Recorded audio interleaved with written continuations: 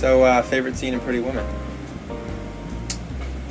Well, I mean, there's so many, but uh, I do like that part just right at the end when he comes up in the limo and um, she's up on the fire escape and everything. That's that's a pretty nice moment.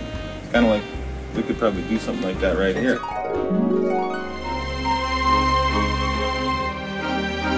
Hey, Fee.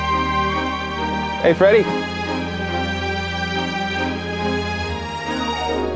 Have a feeling I'll be playing the Richard Gere character and you'll be playing the Julia Roberts one. That's a typical role for me, for Yeah. sure. Five minutes with Freddie. Five minutes with Freddie. So you did this amazing thing on Craigslist where you uh, had your album for sale. Mm-hmm. So um, what I need to do today is sell all these items, and I thought since you're such a master at doing that, you could help me um, kind of. This is a great idea. Well, you got some big ticket items here. I mean, What can we write in? you're looking at six, seventeen dollars minimum. This is a it's a single glove for smokers in the winter. Beautiful.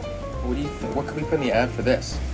Well, I think your first line there was probably the strongest. You're going to want to open with that for sure. You don't want to rule out the other options because obviously texting is a big thing nowadays for young people. Right. Um, having one hand free to do that's quite important. So, you know, you hold the phone with the gloved hand, leaving your right hand free for the texting. I think you should incorporate that into the ad for sure. That'll appeal to a lot of youngsters. Extra selling points. Yeah. Also, it's a beautiful shade of faded brown. I think this is real.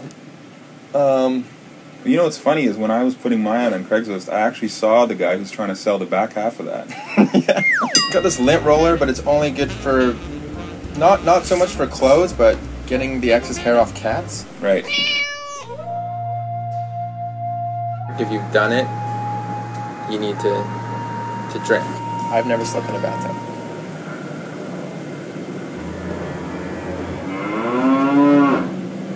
Okay. I've never ate off a stranger's floor.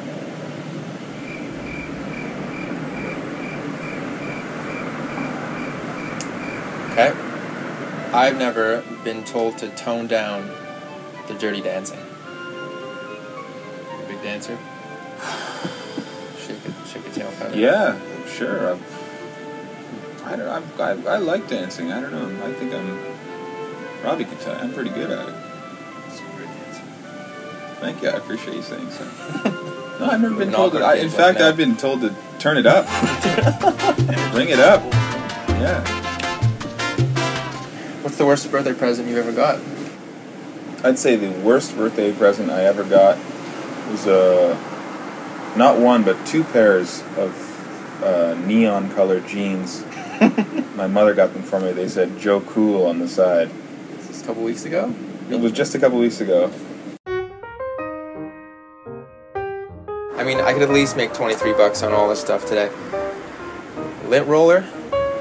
I'm flattered that you're interested in my music, and I'm I'm really thrilled to be here. So thanks very much for having me, and uh, I hope I run into you outside of this place as well. You know, maybe in a coffee shop or in a restaurant or something like that. And we can we can see how the Craigslist ads did. I really do hope we run into each other at a coffee shop. Maybe share a latte. Yeah. I don't know. It's good to see him though. Good to see him. Minutes with Freddie. Five minutes with Freddie.